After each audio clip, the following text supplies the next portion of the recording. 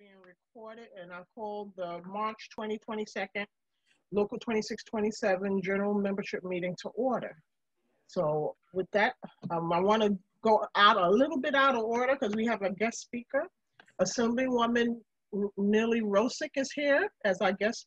She, if she, her name may seem familiar because she is the um, sponsor of the Assembly Bill.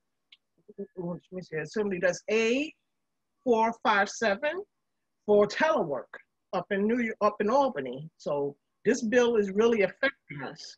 So it's very important um, that we, you know, she came and is going to speak to us about it and talk to and talk about a lot of things. So I would like to in, um, invite Miss um, Assemblywoman Nily Rozic to please unmute yourself. Assemblywoman.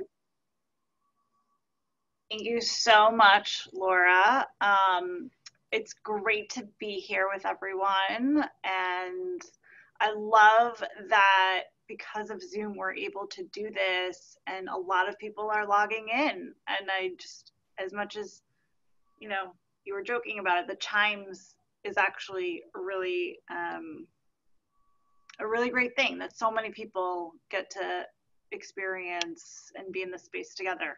Um, yes. So, for those of you who don't know me, I'm Nily Rozic. I am an assembly member. I've been an assemblywoman for about eight years now. Um, and when I got elected to the legislature in 2012, I was the youngest woman ever elected to the legislature. And with that comes a lot of different responsibilities. But among them, um, I like to think that I am trying to help government modernize. And telework or hybrid work, however you want to um, label it, telecommuting or working from home, that is what we should be aiming for. Um, this is a bill, and I'm happy to drop it into the chat so people can familiarize themselves with it. Um, this is a bill that I wrote way back before the pandemic in an effort to help folks um, live a more flexible life and have more work flexibility.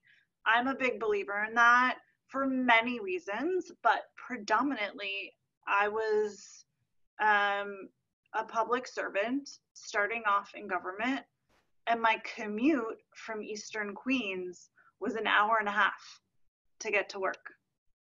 And that was three hours of my day that I really wanted back, even if it was just for one day. Um, and so I'm a big believer in hybrid work and flexible work and flexible scheduling whenever possible, whenever reasonable. Um, and so I wrote this bill many years ago. Um, I'm sure that this group I don't have to tell, um, you know, technology is ever changing. You understand the importance of technology in our lives and how much easier it is to work from home or have a flexible work schedule. Um, you're at the forefront of that. I don't have to convince you of that. And I think that it's really incumbent on all of us to kind of roll up our sleeves and hopefully get this done because if there's one thing we learned during the pandemic, it's that the old systems, the old way of thinking, the old way we did things just doesn't work anymore.